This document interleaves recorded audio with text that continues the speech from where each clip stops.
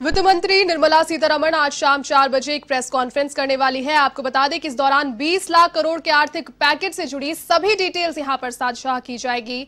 इस आर्थिक पैकेज का ऐलान प्रधानमंत्री नरेंद्र मोदी ने मंगलवार को देश को संबोधित करते हुए किया था।